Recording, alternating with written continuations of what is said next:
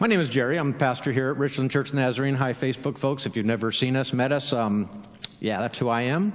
Um, and uh, we are in week oh, four or five, I think, of our series, uh, Does Character Even Count? And you are free to go onto our website and you can look at past videos and find out where we've been. And, and you can listen to a podcast. If you don't really like to look at me, that's all good and fine. Um, technology is amazing about that. Uh, last week, Jesus conferred on us two amazing titles, just, just amazing, amazing titles. We are the salt of the earth, and we are also the light of the world. Those are pretty cool things. And as salt of the earth, we are the preservatives of the earth. We make the earth taste good. And we learned last week that if we don't do our job like salt needs to do, uh, the earth rots right? It just begins, it begins to stink and, and it gets really, really nasty.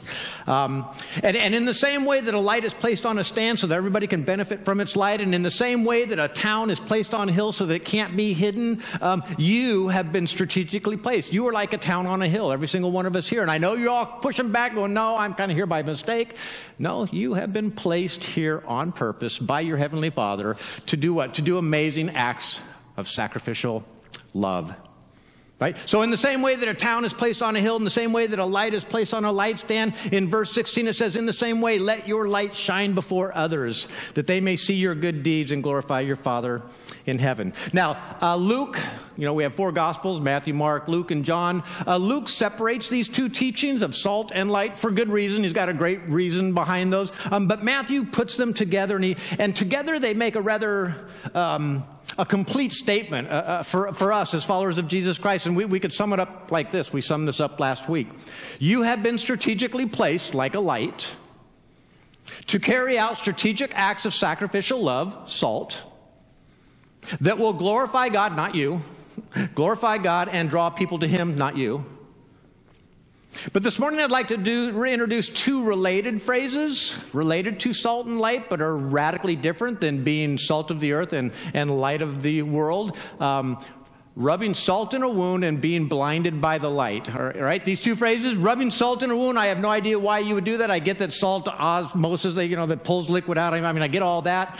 Um, but the idea, what we come uh, rubbing salt in a wound is uh, making a bad situation worse, right? That's that's kind of the way we use that phrase. If you rub salt in a wound, you've added insult to injury, and, and you understand being blinded by the light. I love flashlights. I can see where I'm going, but if somebody turns it around this way, it's going to be very difficult. I don't like it shining in my eyes, right? a little overpowering. And so, rubbing salt in a wound and being blinded by the light, if we're not careful in handling the love of Christ, we can be making situations a whole lot worse. See, because here's the deal Jesus left with his disciples some very, very specific instructions, right? This is how people will know that you're my disciples. And this is how people will know that you're the ones with the really, really good news, right? Jesus says this in John chapter 13, verse 35. This is how people will know. It says this. Hmm, by this, everyone will know that you are my disciples if you love one another. The problem, and we all know this, is that in the name of love, look at world history, there have been some horrible things done in the name of love, right? We, we see this, we see it all the time. In the name of Jesus, in the name of God, we have. We've dragged the name through the mud. We, we didn't lift it up. We didn't exalt it. We just did really, really, really horrible, horrible things to each other. And I think part of the problem is that we either skipped over or we didn't spend enough time digging into the verse right before verse 35. I'm going to show you verse 34 and 35 together here, kind of put them together, and, and maybe this will kind of help us understand where, where we went wrong, right? Where, where we went wrong with this incredible love that we've been given to pass along, and we hurt people with it. It says this, a new command I give you, love one another. Now, now this isn't a new command. Throughout the New, excuse me, throughout the Old Testament, the Jewish people had been told to love one another. In Leviticus chapter 19, love your neighbor. You know, that's where Jesus got his, you know, his two greatest commandments. So this is really nothing new, but this next part, this was the new part. This is the part that kind of challenged everybody. A new command I give you, love one another as I have loved you. There's the qualifier. And that's a huge qualifier. That's a qualifier that we don't want to skip over too quickly because the way Jesus loved was kind of nuts, right? He was all over the map. Like one, at one point he's all grace, and at other points he's all truth, and and just terribly, terribly confusing. And we we try to, well, what would Jesus do? And at halftime we're going, I don't know what would Jesus do. This is a this is like, this is complicated. Anyone ever use that phrase, it's, it's complicated, right? Because there's, there's, there's some nuances in the situation. It's not pure this, it's not pure that. So, Old Testament love was understood wrongly to have kind of limits, right? You only had to forgive somebody seven times, and after that, they're on their own. Eye for an eye, tooth for a tooth. It was understood, and I think wrongly understood, that, that love had legal limits right? You, uh, the legal limit says I don't have to love that person anymore or at all. Right? It, was, it was almost like, and again, wrongly understood, um, you, you loved as long as you were no longer in danger of being punished. Then you could stop loving. That was kind of the idea, the kind of the understanding. Wrong, wrong, but that was where people arrived with their Old Testament understanding. But to love like Jesus loved, selflessly, sacrificially, and here are the two hard ones. These are the two that throw us understandingly and forgivingly. Selflessly and sacrificially, we've been looking at that's a little bit easier to understand, right? Love costs, right? If you've ever loved somebody, you know love costs. If you're a parent, you know love costs. It's never free, it costs. But understandingly and forgivingly, those, those two just make it a little bit. Uh, a little more difficult to, to, to nail down, to nail down. Um, too much, too much understanding, too much forgiving, and, and it's like rubbing salt in when you run the risk of making a situation worse. For example, hey, it's okay if you sleep around. God still loves you. Nothing can bad can happen from you sleeping around because God loves you. He'll take care of everything. Right? You're, you're, you're, being gracious, but I don't think you're making the situation any worse. My guess is the situation could become very, very much worse if you're telling people, hey, it's all good and fine if you sleep around. Nothing bad could possibly happen. And the rest of us are going, oh, oh you need to tell them the truth. And maybe sometimes we don't have enough understanding and we're not forgiving enough. And that's when we, we, we make a situation worse. It's like blinding somebody with the light, right? You still haven't tackled that addiction. You're still having that issue. You must not be reading your Bible. You must not be praying. You just must be a lousy Christian. I don't know why we even let you into this place. A little bit too much light, a little blinded, blinded by the light. So, what I want to do this morning, I just want to stop for a moment because a lot of you have been talking to me, and, and, and, this has been the building of this message here this morning. A lot of you have been asking me, I had this situation, and I don't know if I gave too much truth or too much grace. And I had this situation, and I have a feeling I gave a little bit too much truth, and I gave a little bit too much grace. You know, one or the other. And, and, and my guess is, folks listening online at home, folks here in the, in the building, um, one of two things is true with every person in this room, and, and, and again, listening.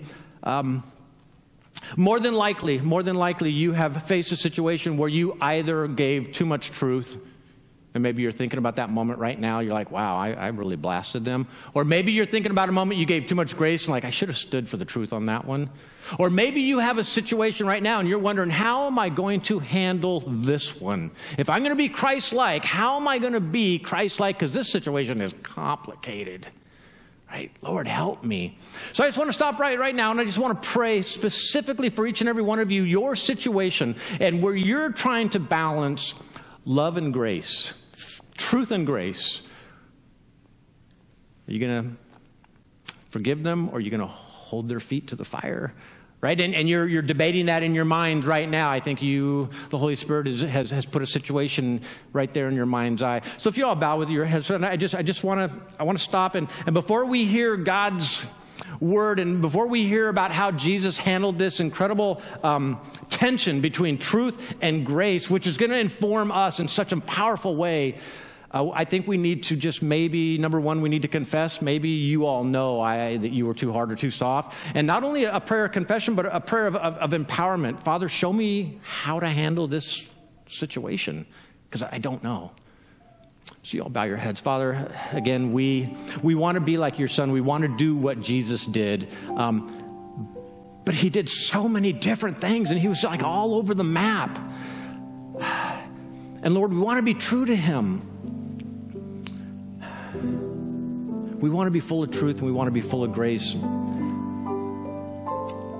but in our world, in our, the, our limited view of things, we, we tend toward half grace and maybe half truth.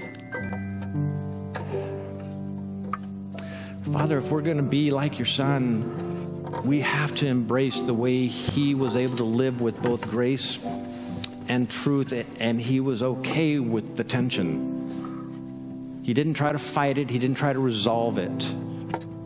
He simply offered 100% grace and 100% truth. And he flip flopping all over the place. Father, you, you know this. And so you understand our confusion. How did he do it? Father, this morning, your, your disciple, your apostle John, is going to show us some things. Um, Father, give us ears to hear. Open up our hearts. If we've been if we've been leaning really hard toward grace, Father, help us see some truth this morning, no matter how difficult it would be. And Father, if we've been hardcore and shining light in people's eyes, Father, soften our hearts this morning. Help us to see like your son saw.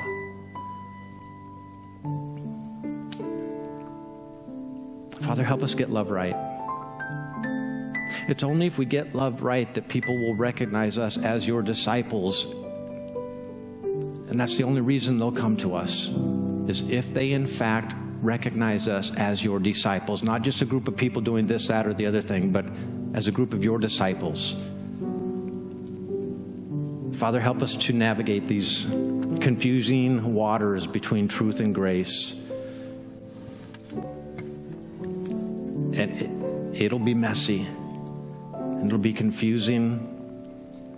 Maybe sometimes it's going to seem unfair.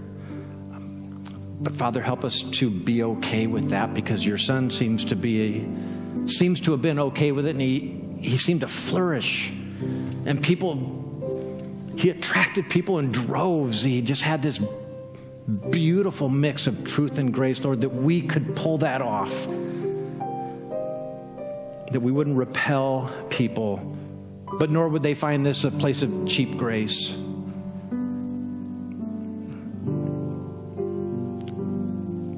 You know more than anything, Father, how much love costs.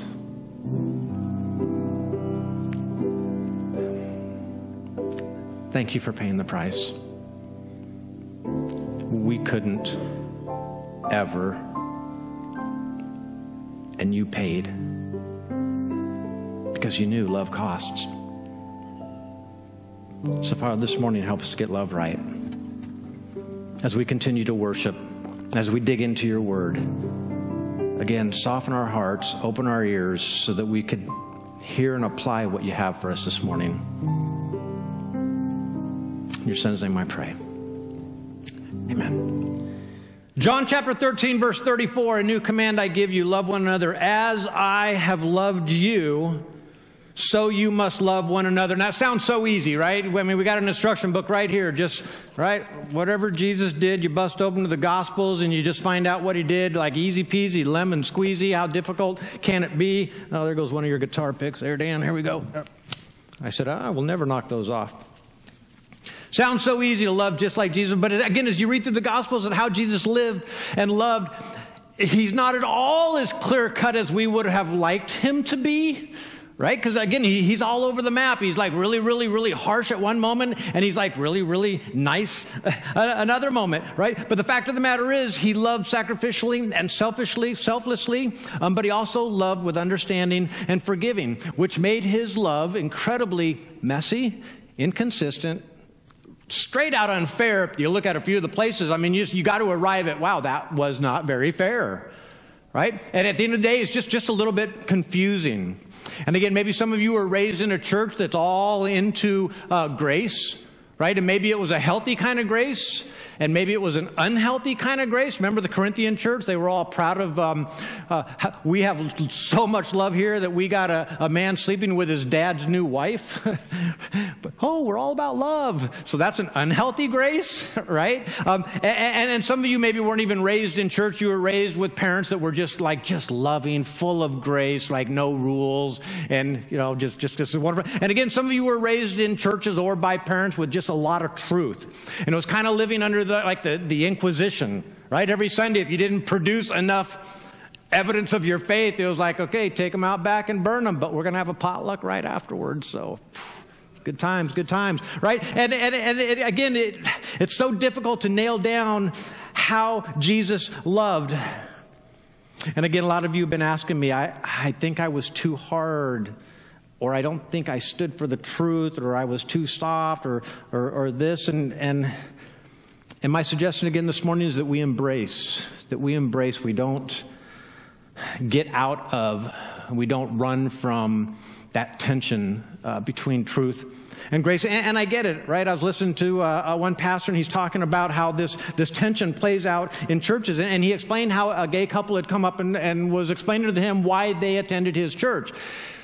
They said, we, you know, there's, there's, there's churches that kind of cater to, to gay couples, and, and we had attended a couple of those churches, but we had, and this is just one, one, one story. He said, but, but this man told this pastor, we got the distinct impression that they weren't telling us the whole biblical truth. They were like coddling us, and we know that you are telling the truth. You're a Bible teaching church, and we're not all that comfortable with it, but at least see, because we want to know what the Bible says, and we didn't think the other guy was really telling us the whole truth. And so, can we keep coming to your church, and is it okay if we keep greeting? I know you're not going to probably let us up on the stage, you know, but can we can we serve? And this pastor said, Yeah, yeah. And then at the other end of the spectrum, you know, lots of grace and, and maybe, you know, lots of truth. This, but one pastor says, says, you know, I, I, sometimes I preach on adultery and, you know, marriage and premarital sex and all that. And he says, you know what? I don't advertise it. Because none of you would come to church that Sunday. And if you happen to come to church that Sunday and you were maybe not married, living with your partner, whatever, the report is it's like getting a, a root canal without any painkiller, right? It's the most excruciating Sunday morning in church that you've ever experienced. But then those same people come back and told that same pastor, you know, that we went home, we were so uncomfortable, we kind of hated you, um, we swore we'd never come back, but then we went home and we had the best conversation. And we recognized that a couple of things that you said, you nailed it. That's why we were having these conversations, these, these difficulties in our relationship. So thank you. Hated it, but thank you. Don't attempt to break or resolve the tension between truth and grace. This is the way Jesus loved. He loved with both grace and truth. And if we jettison either one of them, or if we lean too much into either one of them, we lose something vital to the way that Jesus loved. And he continues to love us. Because again, as we read the Gospels, we quickly realize, again, at one time he's, he's like crazy forgiving. And then at other times he holds people to just in, insanely high levels of accountability, like you can't even think of something without getting into trouble. Right? And then sometimes, again, he's really, really nice. Sometimes he's really, really harsh. Sometimes he points out the smallest of sins, and other times he like ignores sin altogether. And you're just thinking, wow, it was right there, and you never said a word. Is there like a deeper meaning, right? That's what we all go to. There must be a deeper meaning. Like, so they're going to find the fifth gospel and they're going to tell us it's okay to sleep with your boyfriend. No, that's not going to happen. It's lost my, where am I? Jesus loved messily. He loved inconsistently. And he was okay with it, right? He was able to minister through that, what we would call confusion. And it seems to me that if he was messy and inconsistent and maybe a little bit unfair and, and really confused, I think it's okay if, for us to kind of bounce back and forth. We all, we, again, we want Jesus to, to land one place or the other. Look, you're either going to be Mr. Truth or you're going to be Mr. Grace, but stop trying to be both. You're really confusing me, right? Because I'm, I'm an older brother type and I got, you know, the truth and I got my little brother and he's all about grace and man, land somewhere because then I can be right and my brother can be wrong. We want Jesus to agree with us, right? That's truth. Preach it, brother. So we're going to look at the, the Gospel of John. Uh, John was written later than the other Gospels Matthew, Mark, Luke, and John. Uh, the first three were written probably within 30 years of the death of Jesus Christ. That would be somewhat like me writing down a story right now, the reunification of Germany. That happened about 1990. Could you, would you conceive that I could go find eyewitnesses to the actual reunification of Germany in 1990? Would you raise your hand if you believe I can go find a ton of eyewitnesses? Would you? Yes? Okay. Every hand in the place is raised. They weren't. They're all half asleep if you're watching online. Um, But, but, it wasn't that long ago. It was only 30 years ago. So, uh, again, what these Gospels are saying, the first three, this was in such recent memory. Literally, they're saying, look, go ask folks. If what we're saying is not true, just go ask people. There's hundreds of people who will give witness to what we're saying here. Anyway, the book of John, written way later. John's an old man. He's on the island of Patmos. He's either there in, in Ephesus, not terribly certain. Um, everybody else is dead. They've all been hanged, crucified, burned alive, flayed. I mean, you name it, they got it. He's heard rumors. Some of them have just disappeared. No idea. He has no idea. And his followers are saying, look, you got to write some of this stuff down. So his gospel is a little bit different than Matthew, Mark, Luke. Those are kind of follow maybe a biological kind of thing, but with the book of John, it's like a, a, a position statement, like a, a theological treatise. It's, it doesn't follow the chronology of Jesus' life. It's, it's, um, it's a proof it's a proof paper. John's literally stepping out to say, I'm going to prove that this was the Son of God. So he's got like seven statements and seven miracles and, and self, self-identifying. I mean, you've got a bunch of sevens, right? Bottom line, John is radically different than the other gospels. So he's writing to a very, very, very Jewish audience by this time. Um, and he's trying to explain a very distinctly Jewish idea to a Greek audience. So he's really got to think through his presentation, and it's really beautiful the way he does this. I mean, and, the other place that I love it, uh, Paul does it when he goes to Mars Hill right? Go home and read Acts and, and look at Paul's strategy as he, as he interacts with the Greeks. But anyway, um, John is going to present the gospel. He's going to present Jesus to the Greeks, and he understands that they have two ideas. He's going to latch onto these two ideas. They're not the biggest ideas in the Greek word, but they're two very important ideas. The first is the idea of the logos, right? To the Greek mind, there is such thing as the logos, and this was literally the mind of God right? Everything that you see beautiful in the world is a result of the Logos, the mind of God. It's existed forever. And, and the Logos, if, if a man is rational and he's a, he's a good guy, then the Logos resides in that man. It's not necessarily God, as us or the Jewish people would, would call it, but it, this, this, the mind of the universe, right? And this other idea is that there, there were two worlds. One, the world that we see around us. It's a wonderful world, all good and fine. But what you see is really copies of realities, right? Not, not the real thing. And there's, there's this, this, so this is kind of a shadow world. And then there's this real world. There aren't any shadows. I mean, everything there is real. There's no fakeness about it. I mean, it's the real deal. So there's these two worlds, and we live in the one shadow world. And so John tells the Greek people, this was amazing. He tells them, that in this man, Jesus Christ, the, the, the, Logos and this real world is all wrapped up into this one man, Jesus Christ, in this person, the personhood of Jesus Christ. So he says it this way in John chapter 1, verses 1 through 3. In the beginning was the Word so, in the beginning was the mind of God. In the beginning was this perfect world somewhere. And that was Jesus. And, the, and Jesus was with God, and Jesus was God, right? If you follow what John is doing, this, he's, he's describing how Jesus is God. And the Greeks push back a little bit because they, you know, how can evil matter and, and beautiful spirit, how can they be? Uh, go to that another time. Through him, all things were made. Without him, nothing was made that has been made. And then a bit further on, he gives us the two words that capture our dilemma as lovers of Jesus and as, as people who want to love like Jesus loved. And, and John takes these two words that we've been looking at and he applies them to the personhood of Jesus. Like, this is what Jesus is made of. It says this in verse 14. The Word, Jesus, the mind of God, this perfect reality, Jesus Christ in the flesh, became flesh this reality, became flesh and made his dwelling among us. In other words, Jesus tabernacled is really the word. He camped out. He didn't move permanently. He was only here for 30, 33 years, but he came and moved into the neighborhood, right? So that we could truly understand, so he could truly understand what's it like to live in our neighborhood. What is it truly like? And then we would be able to identify with him and he'd be able to identify with us. Just what a beautiful, beautiful, beautiful picture. And then it says this We have seen his glory, the glory of the one and only Son who came from the Father. You see that we? Again, that's like me and John and, and, and Matthew, and we all saw it. And not only us, there were hundreds of others. We all saw it. This isn't some story that we got handed down to us. You've been reading accounts, we were there. If you want to ask us any nuanced questions about what happened, we were there. We saw his glory. The glory of the one and only Son who came from the Father. And then this this is the, this is the kicker. We have seen the glory, the glory of the one and only Father who came from the Son, full of grace and truth, full to the brim of both grace and truth. I mean, we all know grace and truth, right? Truth says you're accountable, right? Grace says, no, you're not, you're forgiven, right? Truth says that you're broken, and grace says, nah, you're fine, you're fine. Truth says you're going to have to pay for that, and grace says, nah, I got it, I'll pay for it. So you've all experienced truth and grace in your life.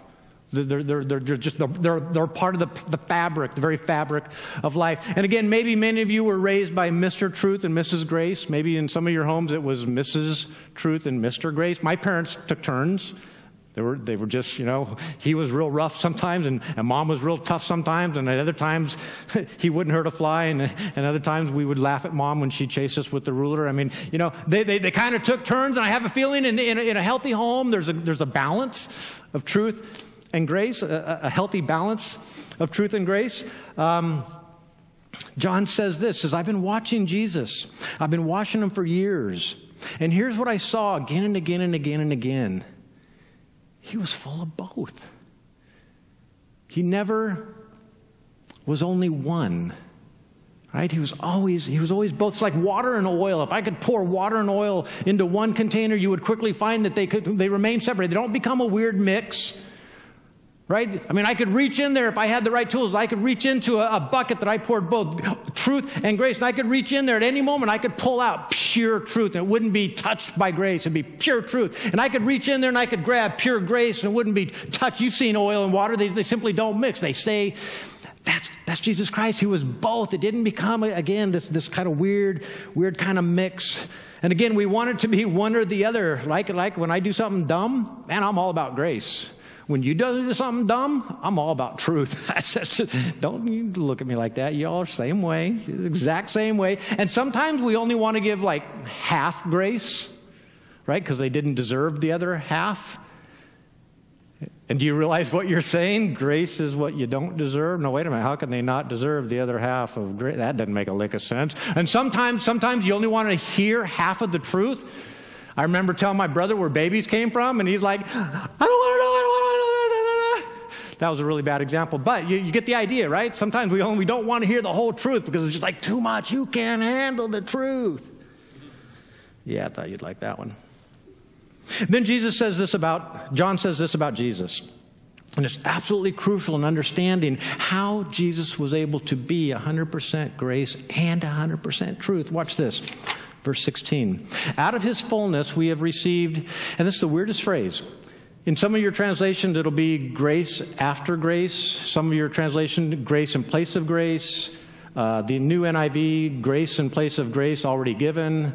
Uh, grace upon grace. And the idea being this in the morning, you've all done this. You have a, you have a situation. And in the morning, you're, you're all about the truth right? All about the truth. And then somehow by later in the afternoon, you, you, almost need to switch gears, right? In your situation, and now, now you have to be all about grace. And this passage is saying that Jesus is the same thing, right? Sometimes he's going to come to you and he's going to unload 100% grace on you. 10 minutes later, his grace is going to look strangely like 100% truth because that's what you needed right then. And then about 10 minutes later, he's going to give you a different. It might be truth, it might be grace, but He's going to give you what you need at that moment. But He's always going to have both. He's always going to have both. He's again not a balance, a full measure of both. Is it messy? Incredibly messy. Inconsistent? Yeah. Unfair? Yeah. Confusing? I guess so. And then just to clarify, verse 17, he says this For the law was given through Moses, but grace and truth came through Jesus Christ. Now look at those two verbs. The law was given, it was given over time, it developed over time. But the word that Paul uses here, excuse me, that John uses here is begotten. It arrived full, complete, 100% grace and truth. Bam! Jesus came, arrived in person, grace and truth. Law, 100% truth. But grace and truth. What an incredible combination. And this is what made Jesus so unpredictable and inconsistent, right? Everyone then and now we want him to land one way or the other, but he, he like he refuses. Again and again, he brings 100% grace and he brings 100% truth to the situation. Let me give you a couple examples. John chapter 4, Jesus is talking, Samaritan woman. You've all remember this one, Samaritan woman at the well. Uh, Jesus is talking to her, which is really graceful. Right? And she's got to be thinking this Jewish rabbi is talking to me, a Samaritan woman. Strike, strike, strike, strike, strike, you're out. I mean, nothing about the situation would have been correct. But Jesus was all Mr. Grace. And he's having this conversation with a woman, which was unacceptable. And a Jewish man, Samaritan. I mean, everything about it was just completely, completely unacceptable. And then suddenly Mr. Truth shows up, like he's all Mr. Grace. And then Mr. Truth suddenly shows up. In, in, verse 16, it says, He told her, Go back and call your husband and come back. And you can feel the sudden silence. She's like, Wow, he turned quickly.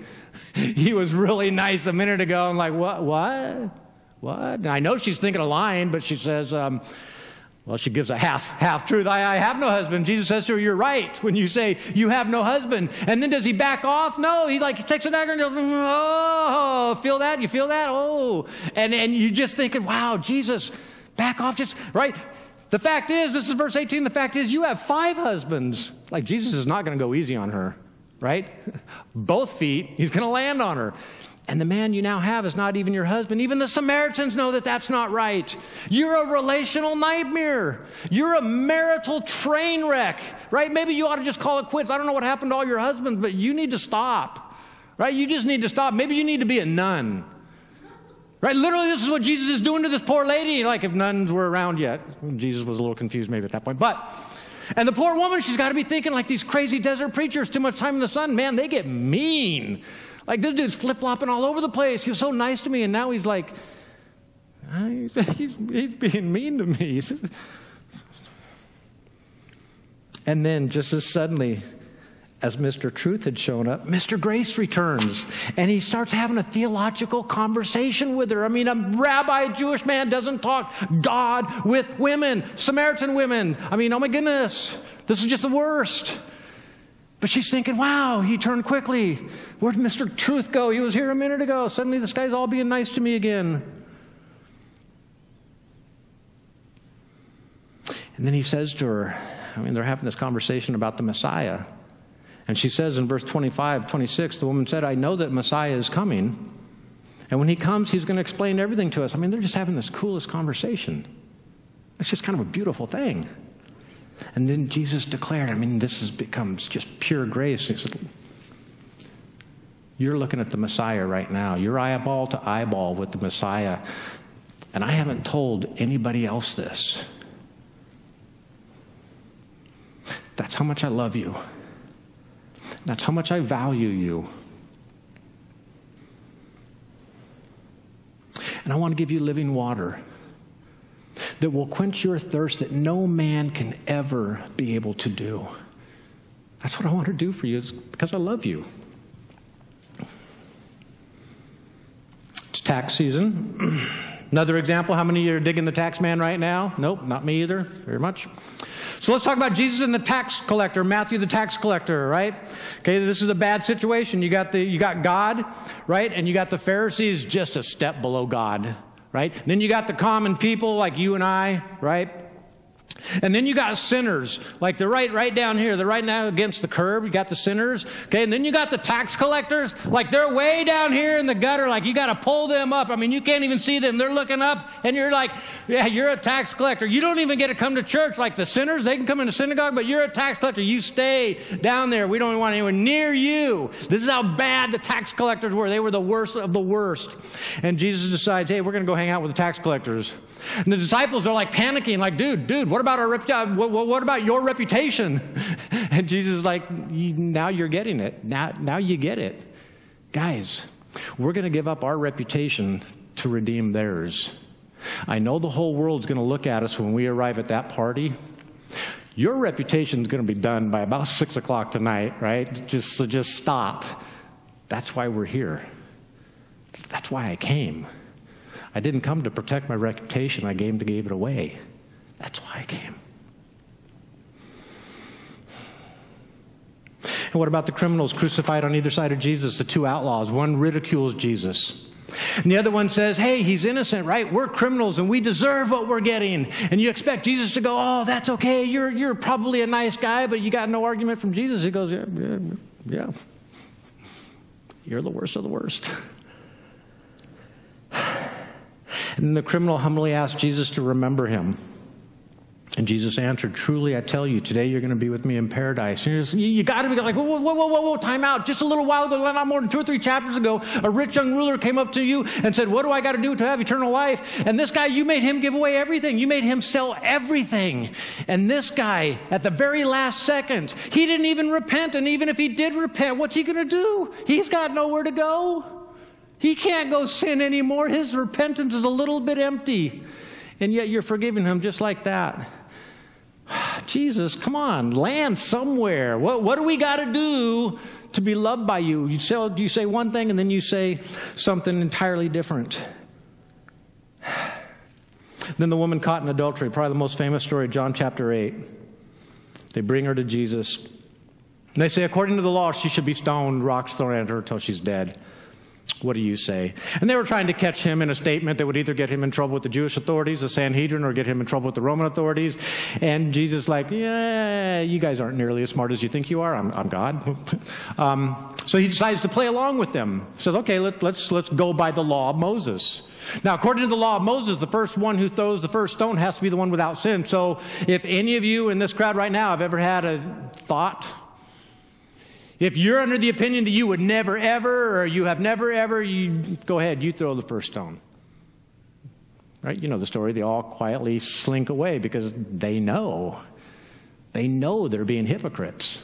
They know. Jesus pointed it out so beautifully. And then watch this. He says to the woman, listen carefully now. I don't condemn you. Wow, grace. Now go and sin no more. Which is it? Are you not going to condemn her? Are you going to make her sin no more? Jesus, come on, land. Which is it going to be? You, I don't condemn her? Yeah, I don't condemn her. Well, why'd you have to bring up the sin part? Because you have to hear the truth too. I don't condemn you, but you need to understand the truth. See, Jesus was the embodiment of 100% grace and 100% truth, but that is so complicated, you say.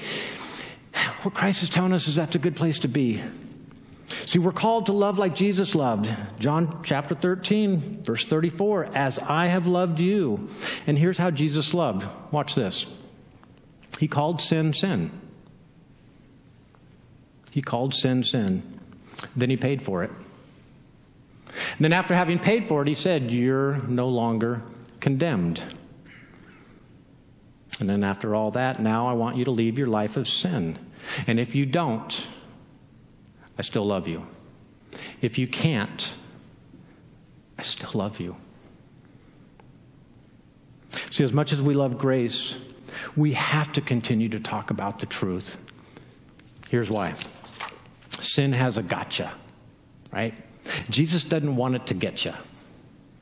So Jesus is constantly like, here's the truth. Here's what will happen if you do that. Here's the truth. Here's what's going to be the consequences. This is the truth. I don't want sin to get you.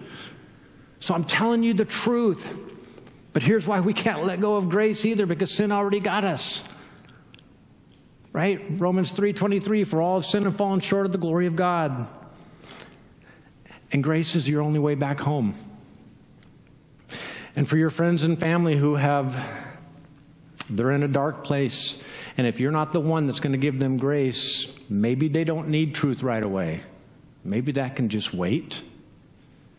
Maybe right now, as they're drowning, the lifeline doesn't say truth on it, it says grace.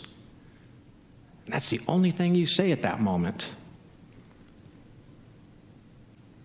If Jesus is the embodiment of both grace and truth, and if the church is, is his body, then we have to be comfortable with the messy, inconsistent, unfair, and confusing way that Jesus lived.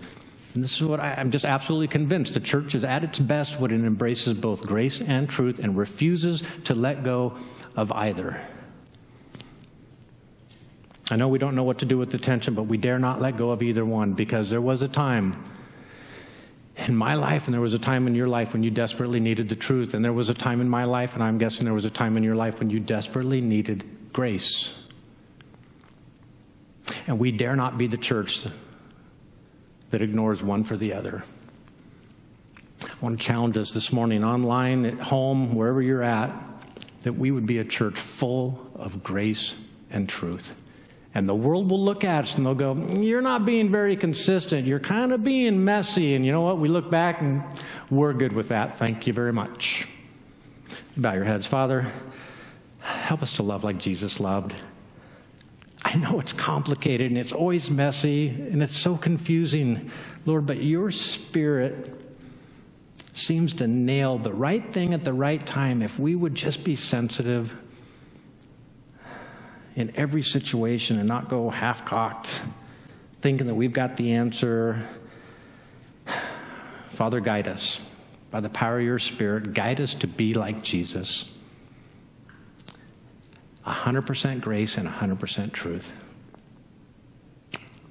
Father, thank you for Richland Church, the Nazarene. Thank you for all the churches around the world right now that are lifting up your name. Thank you, Father. Your son's name I pray. Amen.